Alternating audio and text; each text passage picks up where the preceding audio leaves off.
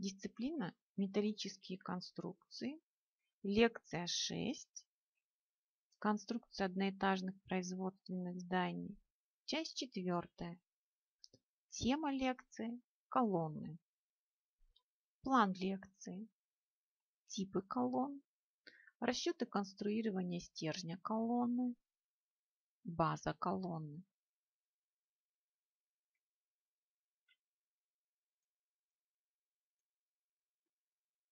Каркасах одноэтажных производственных зданий применяются стальные колонны трех типов – постоянного по высоте сечения, переменного по высоте сечения, доступенчатый и в виде двух стоек, не жестко связанных между собой. Это раздельные колонны.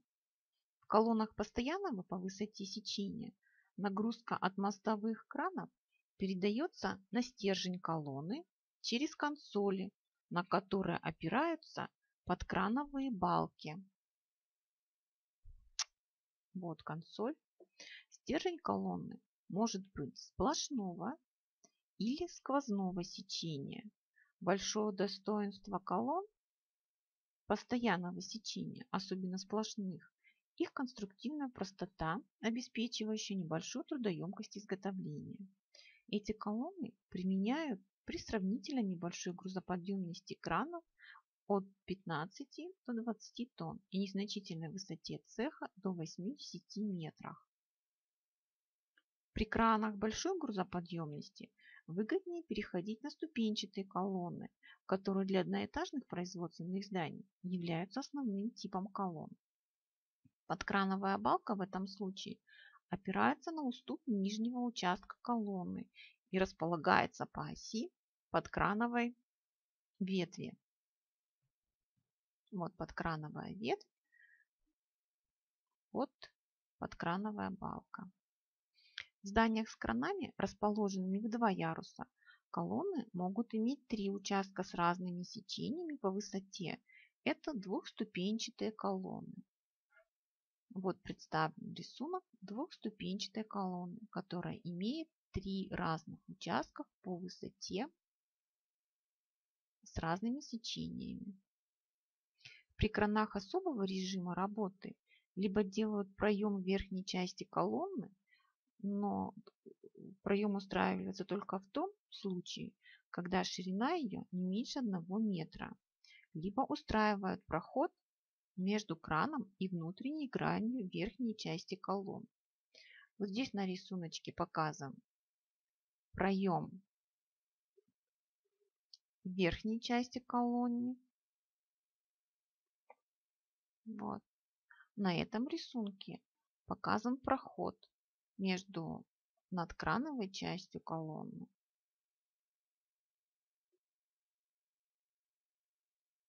Генеральные размеры колонн устанавливаются при компоновке поперечной схемы, поперечной рамы.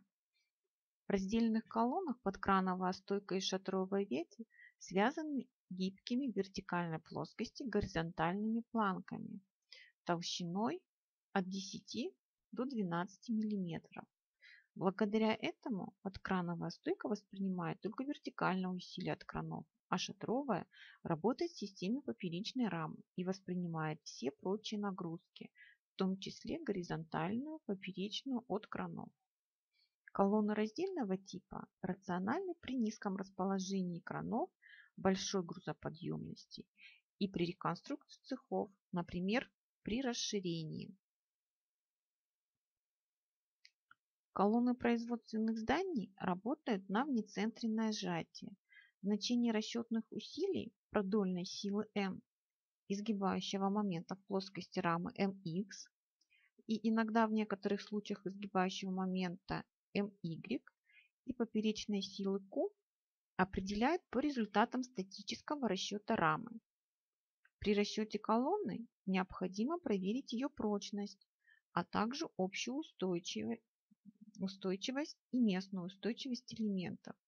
Для обеспечения нормальных условий эксплуатации колонн для обеспечения нормальной эксплуатации колонны должны обладать также необходимой жесткостью. Сечение ступенчатых колонн подбирают раздельно для каждого участка постоянного сечения. Расчетные длины участков колонн в плоскости и из плоскости рамы определяют в зависимости от конструктивной схемы. Сплошные колонны обычно проектируют двутаврового сечения. Для колонн с постоянным по высоте сечением и надкрановых частей ступенчатых колонн применяются симметричные двутавры. Если момент одного знака значительно отличается по абсолютному значению от момента другого знака, то целесообразно применение несимметричного сечения. Для снижения трудоемкости изготовления колонн рационально применение прокатных двутавров с параллельными гранями типа Ш. Однако расход стали в этом случае иногда несколько увеличивается. Составные сечения компонуют из трех листов или листов и сварных, а также прокатных двутаврах. При компоновке составных сечений необходимо обеспечить условия применения автоматической сварки, а также местную устойчивость полок и стенки. Стержень нецентренно сжатой колонны или ее участок должен быть проверен на прочность, устойчивость как в плоскости, так и из плоскости рамы, поскольку колонна не подвергается непосредственно воздействию динамических нагрузок, ее прочность проверяют с учетом развития пластических деформаций. Колонны. Практический подбор сечения сплошных колонн удобно выполнять в следующем порядке. Сначала определяют расчетные длины колонны плоскости рамы для верхней и нижней частей отдельно. Чаще всего для верхних надкрановых частей э, колонн применяются, как правило, симметричные двутавры. После определения расчетной длины стержня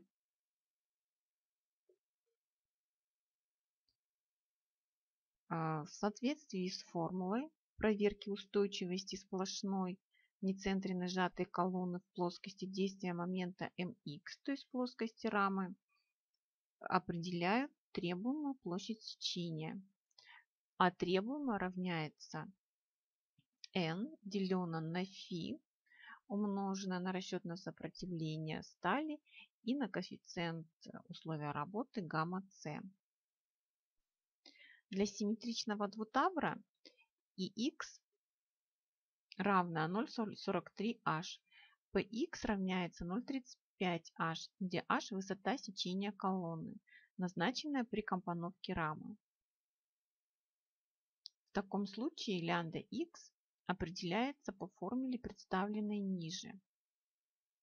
По полученным значениям mx и лямбда x определяют коэффициент n. В первом приближении можно принять соотношение площадей полки и стенки к AF на AW равное 0,5. Зная значение приведенного эксцентриситета MEF и условную гибкость лямбда x, по приложению 9 нормативных документов значение коэффициента фие определяется, а далее по формуле определяем требуемую площадь, площадь сечения от требуемую.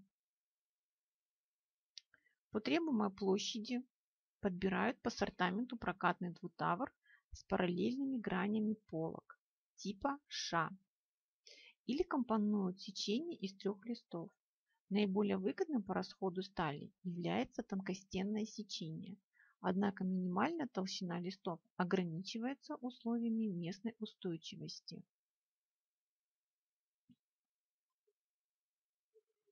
При компоновке сечения ориентировочная ширина полки может быть определена из условия BF должно быть больше либо равно от 1,20 1,30 L2, где L2 геометрическая длина верхней части колонны. Ориентировочная толщина полки может быть определена из соотношения А требуемое делено на 4BF. Ориентировочная толщина стенки может быть определена по формуле HV деленное на 80-120, где HV должна равняться H минус 2T. Округлив полученные значения толщины стенки поясов до целых значений миллиметров, а ширину полки до значения кратно 10 мм, определяют площадь полученного сечения. Скомпонованное сечение должно удовлетворять требованиям, обеспечивающим местную устойчивость стенки и поясов пола. Толщину стенки из условия местной устойчивости а, получает довольно большой что делает сечение неэкономичным, особенно при высоте сечения 700 мм и более. В ряде случаев целесообразно уменьшить толщину стенку, приняв э, соотношение высоты стенки к толщине стенки от 80 до 120. А толщина стенки от 6 до 12 мм и обеспечить ее устойчивость постановка продольной ребер жесткости, расположенной с одной или с двух сторон стенки. Продольные ребра включают в расчетное сечение колонны. Постановка продольных ребер увеличивает трудоемкость изготовления колонны и целесообразна только при большой ее ширине более 1000 мм.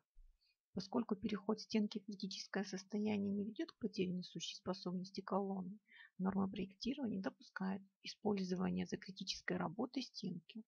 В этом случае неустойчивую часть стенки считают выключившейся из работы, а расчетное сечение колонны включает на два крайних участка стенки шириной по 0,85 ТВ э, корень квадратный Е деленное на RY. Исключение части стенки из расчетного сечения учитывается только при определении площади сечения. Все остальные геометрические характеристики определяются для целого сечения. Устойчивость полок двутаврового сечения обеспечивается, если ширина свесов к толщине полки меньше либо равна 0,36 а, плюс 0,1 лямбда умножить на корень квадратный а, под корнем e делено на ry. Для других типов сечений без весов на ширина свеса на толщину свеса указана в нормах проектирования. После того, как АПБ определили геометрические характеристики принятого сечения, это площадь, момент инерции и x, и y, момент сопротивления сечения Vx, радиус инерции сечения и x, и y. А, следующим этапом делают проверку устойчивости верхней части колонны в плоскости действия момента по формуле сигма равняется n деленное на φx умноженное на площадь сечения подобранную. Это все должно быть меньше либо равно расчетного сопротивления умножено на коэффициент условия работы.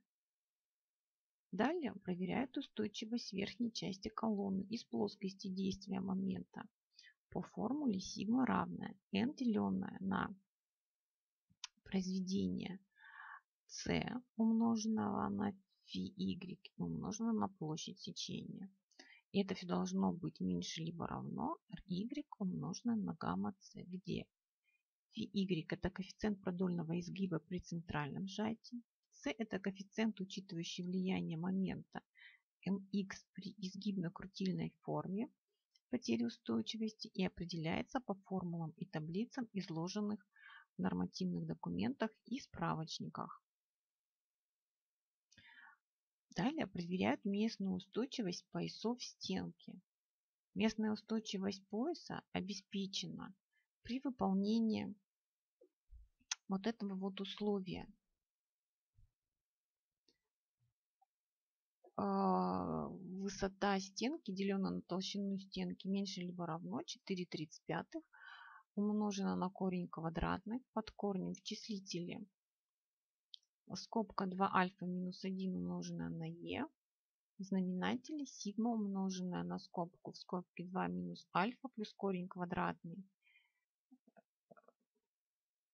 Альфа квадрат плюс 4 бета квадрат и все это должно быть меньше либо равно 3,8 умножить на корень квадратный а, под корнем числитель в знаменателе ry. Расшифровка этой формулы приведена ниже. При, при недонапряжении свыше 5% или перенапряжении проводят корректировку принятого сечения и повторяют эту проверку заново. Стенки сплошных колонн при HW деленное на TW а, отношение высоты стенки к толщине стенки равное 2,2 умноженное на корень из а, ну, под корнем модуль упругости деленный на расчетное сопротивление. Нужно укреплять поперечными ребрами жесткости, расположенными на расстоянии 2,5-3 HW одно от другого. На каждом отправочном элементе должно быть не менее двух ребер. Размеры ребер жесткости э, указаны в, раз, в разделе центрально сжатых сплошных колонн. Сварные швы, соединяющие стенку и полку в составных сечениях, следует выполнять сплошными. Катеты швов назначаются в зависимости от толщины полок. В колоннах зданий, эксплуатируемых и неагрессивных и слабоагрессивных средах при температуре выше 40 градусах Цельсия допускается применять односторонние швы, кроме мест прямокрайних кронштейнов, балок, вертикальных связей и других элементов, где обязательно двусторонняя сварка. Далее выполняется подбор сечения нижней подкрановой части колонны. Нижняя часть колонны, как правило, конструируется несимметричного сечения для подбора которого рассматриваются два загружения с положительными и отрицательными моментами. Приближенно можно принять, что высота стенки и расстояние между центрами тяжести полок равны высоте сечению HW равняется H полки равняется H. Погрешность при таком допущении не превышает 5%. Начинаем с определения требуемой площади сечения. Определяется из комбинации с максимальным абсолютным значением момента. Все эти усилия вы принимаете при э, статическом расчете рамы. Тогда требуемая площадь равняется n, деленная на φ, умноженное на ry, гамма c, где n – это максимально из усилий, N1 и N2. Φ – это коэффициент снижения расчетного сопротивления при внецентренном сжатии. Он определяется по таблицам в зависимости от условной гибкости и приведенного эксцентриситета mx.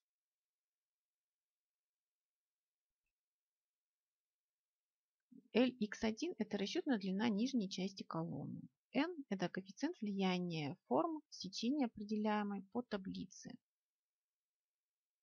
После выполнения всех этих э, условий и нахождения радиуса момента инерции сечения и x и так далее, определяем площадь полок по формуле. А1 равняется А требуемое, деленное на коэффициент на единицу плюс k минус площадь стенки, деленная на 2 Отсюда А2 равняется А требуемо минус А стенки и минус А1, где АW площадь стенки равняется А требуемо умноженное на P и равняется от 0,25 до 0,6 А требуем. Чаще всего стремятся к тому, чтобы А1 равнялось А2. Компоновка сечения, проверка подобранного сечения и его корректировка выполняется точно так же, как и для верхней части колонны. В ступенчатых колоннах подкрановые балки опираются на уступ колонны. Для передачи усилий от верхних частей колонны подкрановых балок на нижнюю часть в месте передачи уступа устраивают траверсу. Высоту траверсу, аж траверсы, принимают равное 0,5-0,8 ширины нижней части колонны. Усилие dx максимальное через плиту толщиной 16-25 мм передается на стенку траверсы. При передаче усилий через фрезерованную поверхность стенка траверсы работает на смятие. И проверяется по формуле. Сигма равняется D максимальное деленное на LEF на толщину ST траверсы. И все это должно быть меньше либо равно RP на гамма C, где LEF определяется как э, ширина опорных ребер балок БОП плюс две толщины стенки траверсы и плиты. О, две э, толщины стенки плиты. Продольная сила N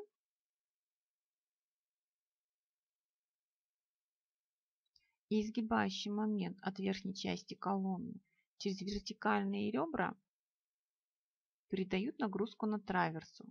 Запас прочности допустимо считать, что усилия N и M передаются только через полки верхней части колонны.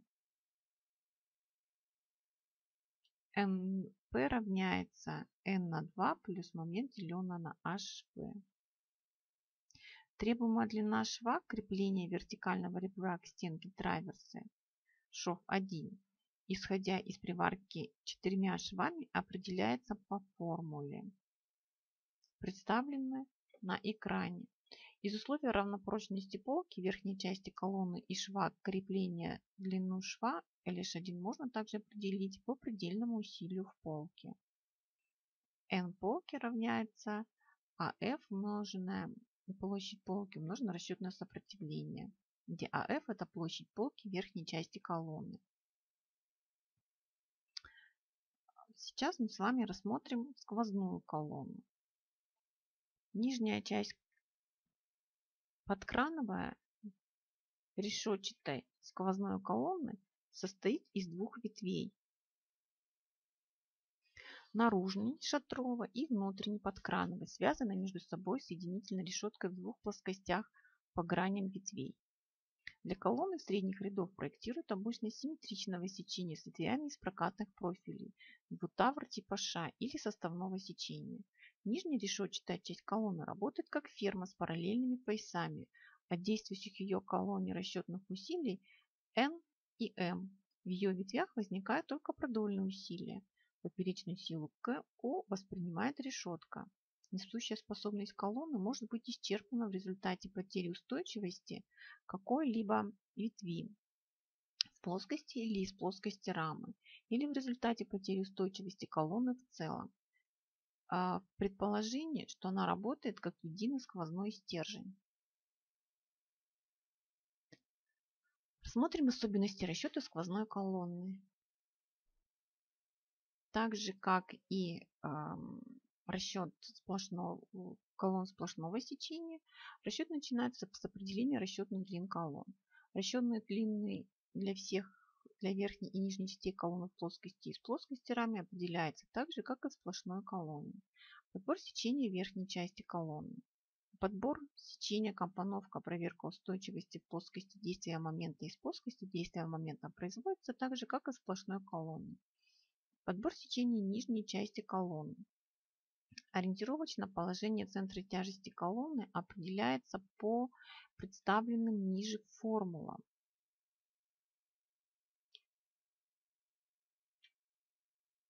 где М1 это момент догружающий ветвь 1, М2 момент догружающий ветвь 2. Усилия в ветвях колонны определяются по следующим формулам. ветви 1 по этой формуле, ветви 2 по вот этой формуле. Сейчас мы рассмотрим особенности расчета сквозной колонны. Требуемая площадь сечения ветвей определяется по формулам. Для первой ветви и для второй ветви.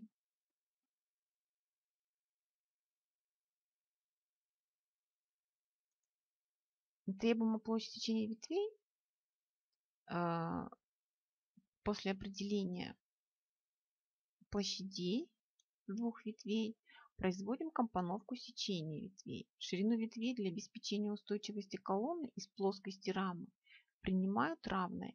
B должно быть больше, чем 1,20, 1,30 H LN. Расчетная длина стержней части колонны или ее участка из плоскости рамы. Ветви колонны работают на внецентренное сжатие, поэтому местная устойчивость полок и стенки каждой ветви должна обеспечиваться так же, как и в внецентре сжатых колоннах. После этого определяют геометрические характеристики принятых сечей обеих ветвей и всего сечения в целом.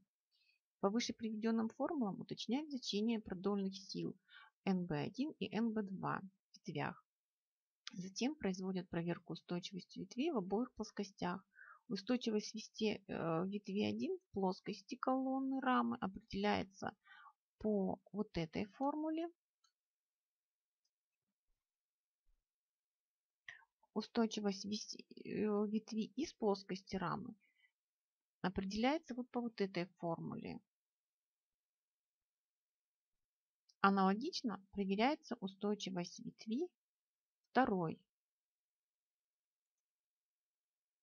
Сейчас мы рассмотрим расчет решетки под крановой части колонн.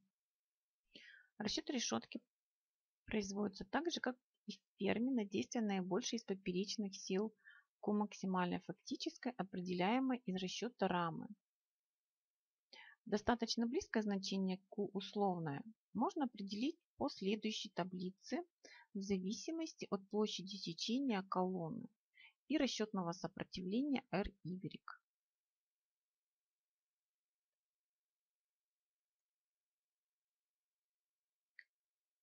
Давайте с вами рассмотрим расчет узла сопряжения верхней и нижней частей колонны, траверсы. В решетчатых конструкциях э, колоннах траверса работает как балка двутаврового сечения, нагружена усилие М, N и D максимально, имеющая пролет равный ширине нижней части колонны N, BN. Опорами для балки служат ветви колонны. Прочность траверса проверяется на изгиб и срез по формулам, представленным на экране.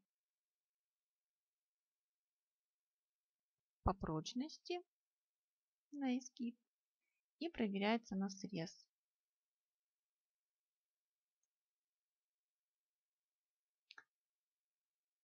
Переходим к следующему разделу темы «База колонн».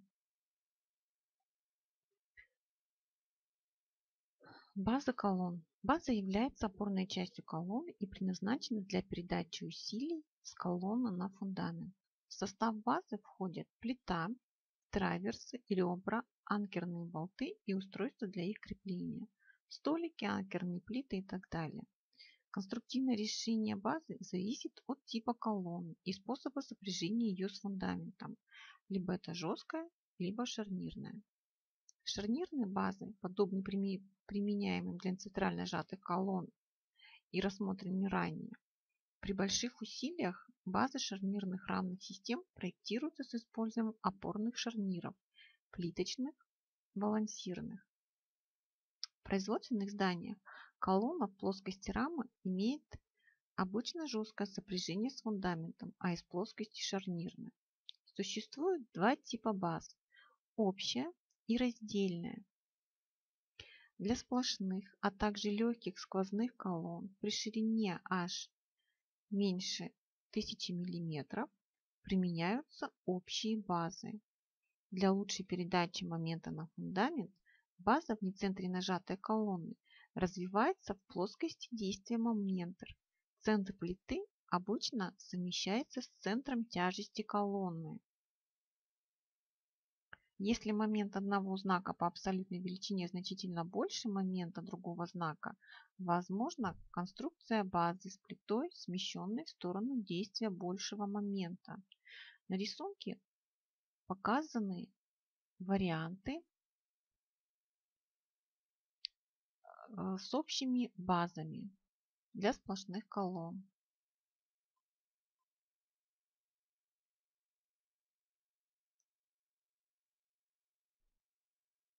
То есть здесь показывается, что может быть траверса одна на две ветви.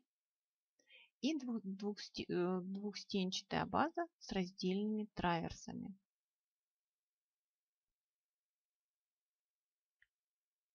Для передачи момента на фундамент база в центре нажатой колонны развивается в плоскости действия момента. Центр плиты обычно совмещается с центром тяжести колонны. Под плитой в бетоне фундамента возникают нормальные напряжения, определяемые по формулам, представленным на экране. При большем значении изгибающего момента под плитой возникают растягивающие напряжения. Поскольку плита на фундамент лежит свободно, то для восприятия возможного растяжения устанавливают анкерные болты, которые являются расчетными элементами. Ширина плиты B принимается на 100-200 мм шире сечения колонны. Из условия прочности бетонного фундамента на сжатие из выше приведенной формулы можно определить длину плиты. Формула представлена ниже. Данный расчет базы аналогичен расчету базы центральной сжатой колонны. Усилия в анкерных болтах определяются в предположении, что бетон не работает на растяжение. Э, сила FA, соответствующая растянутой зоне и пюры напряжения, полностью воспринимается анкерными болтами. Исходя из уравнения равновесия сил относительно центра тяжести сжатой зоны бетона, усилие в анкерных болтах с одной стороны базы определяется по формуле, представленной ниже. А, при проектировании базы следует учитывать способ установки колонны на фундамент, установка колонны на подкладке с последующей выверкой или безвыверочный метод. Для сквозных колонн, как правило, проектируют раздельные базы. Под каждую ветвь своя база. Ветви сквозной колонны работают на продольные осевые силы, поэтому их базы рассчитывают и конструируют как базы центрально сжатых колонн. Центр плиты совмещают с центром тяжести ветви, и в противном случае ветви колонны появляется дополнительный момент. Базу каждой ветви рассчитывают на свою комбинацию M и N, дающую наибольшее усилие сжатия ветви в нижнем сечении колонны. Усилие, передающееся на базы, определяется по формулам, представленным на экране. При большем изгибающем моменте и небольшом продольной силе в одной ветви может возникнуть растягивающее усилие. Усилие воспринимается анкерными болтами и определяется по формуле, представленной ниже. Анкерные болты размещаются по осям ветвей.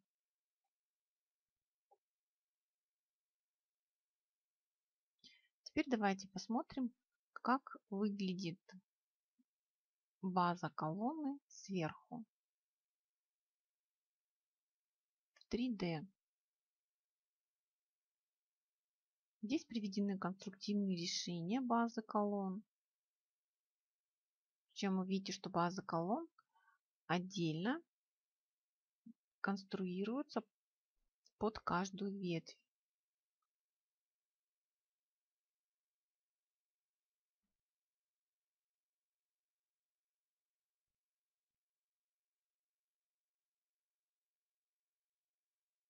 Следующее конструктивное решение базы колонн.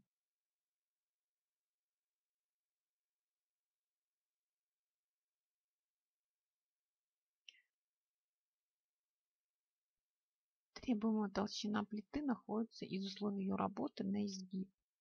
Толщина определяется так же, как мы оговаривали выше, а, для центрально сжатых колонн. Обеспечение жесткости плиты при уменьшении толщины в базе устанавливают траверсы и ребра. В легких колоннах применяются базы как с одностенчатой, так и с двустенчатой траверсы из листов или двух швеллеров. Для более мощных колонн устраивают двустенчатые траверсы из листов. Траверсы могут быть общими для полок колонны и раздельными. Общие траверсы приваривают к полкам колонны наружными швами. Сварка во внутренней полости затруднена. Они работают как двухконсольные балки под действием отпора бетона и фундамента и усилия в анкерных болтах. Швы крепления траверсы воспринимают только сдвигающие усилия. Такие траверсы целесообразны при наибольшей ширине колонии до 500-700 мм. При большей ширине колонны более экономичны и удобны для сварки раздельные траверсы. Каждая траверса приваривается к полке колонны двумя швами и работает как консоль от отпора бетона или э, как отпора бетона или усилия в анкерном болте. Швы крепления траверсы воспринимают момент издвигающего усилия. Сечение и швы крепления траверса ребер рассчитывают на отпор бетона соответствующих грузовых площадей. Работа и траверсы, о, ребра и траверсы расчленяют плиты на отдельные участки. Работа и расчет плиты аналогичны базе центральной сжатой колонны, так как напряжение в бетоне фундамента под плитой распределяются неравномерно при определении моментов на разных участках величину сигма b несколько в запас принимает наибольший э, в пределах каждого участка по эпюре напряжения бетоне. Анкерные болты работают на растяжение и воспринимают усилия, отрывающие базу от фундамента и возникающие при действии момента. Усилия в анкерных болтах определяют предположении, что бетон не работает на растяжении и растягивающая сила FA, соответствующей растянутой зоне эпюра напряжения, полностью воспринимается анкерными болтами. Исходя из уравнения равновесия сил относительно центра тяжести зоны бетона, усилия в анкерных болтах и требуемая площадь сечения одного анкерного болта. А, при расчете анкерных болтов необходимо принимать комбинацию нагрузок, дающие наибольшее растягивающее усилие в болтах. Исходя из условия появления растягивающих напряжений в бетоне фундамента, сигма b минимальная, должна быть меньше нуля. При расчете анкерных болтов следует учитывать временные нагрузки m на n меньше либо равно L на 6. Если для постоянной нагрузки m на n меньше L на 6, то нас загружает анкерные болты, то значение n и m следует определять при коэффициенте надежности для постоянных нагрузок гамма F0,9. Анкерные болты закрепляют на специальных столиках и анкерных плитках. Анкерные столики работают по консольной схеме на изгиб от усилия в анкерном болте. Анкерные плитки опираются на траверсы и работают как балки на двух опорах. При большом расстоянии между, траверсами под анкерные болты устанавливают балочку из двух швеллеров. Подсквозные колонны при ширине их 1 метр и более устраивают, как правильно, раздельные базы под каждую ветвь своя. Ветви сквозной колонны работают на продольные силовые силы, поэтому их база рассчитывается и конструируется как база центрально сжатых колонн. Центр плиты совмещает с центром тяжести ветвей. В противном случае в ветви колонны появляется дополнительный момент.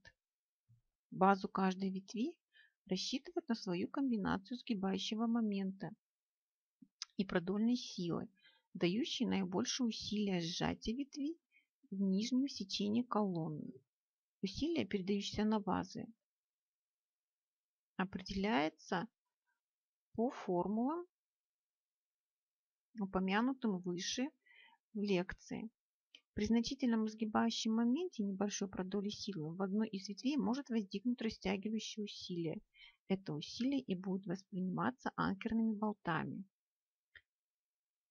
Из условий появления растягивающих усилий в анкерных болтах в сочетании учитываются нагрузки, для которых m деленное на m больше, чем y1, 2. Анкерные болты обычно располагают по, ось, по оси ветвей. Конструкция базы должна обеспечивать удобство прихватки деталей при их сборке и доступной сварке всех швов. При проектировании базы следует учитывать также способ установки колонны на фундамент. При установке колонны на подкладке с последующей выверкой или на выверенную поверхность фундамента плита базы приваривается к стержню колонны на заводе-изготовителе. В связи с высокой трудоемкостью этих способов монтажа трудоемкость выверки колонны сложность выполнения поверхности фундамента с высокой точностью основным в настоящее время является безвыворочный метод. Сущность его заключается в том, что первоначально на фундамент устанавливают опорные плиты с верхней фрезерованной поверхностью. Выверку плит и установку их проектное положение выполняют с помощью установочных болтов. После выверки под плиты подливают цементный раствор. Торец колонны изготовлений фрезеруют.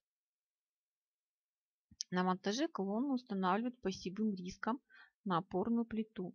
Высокая точность фрезеровки и установки плит обеспечивает проектное положение колонны без дополнительной выверки. Затем на, анкерные болты надевают анкерные плитки и затягивают болты. После установки колонн стержень ее приваривают к плите конструктивными швами. При необходимости эти швы следует проверить на действие сдвигающего усилия. Передача же продольного усилия осуществляется через фрезерованные поверхности. При проектировании базы для безвыворочного монтажа следует предусмотреть крепление установочных болтов. Толщина плиты должна быть на 2-3 мм больше полученной по расчету для выполнения фрезеровки. База колонны не должна иметь длинных выступающих деталей, которые могут быть повреждены при фрезеровке. Метод безвыворочного монтажа позволяет упростить и ускорить монтаж колонн и опирающих на них конструкций, благодаря более точной установке колонн. Теперь, пожалуйста, ответьте на контрольные вопросы.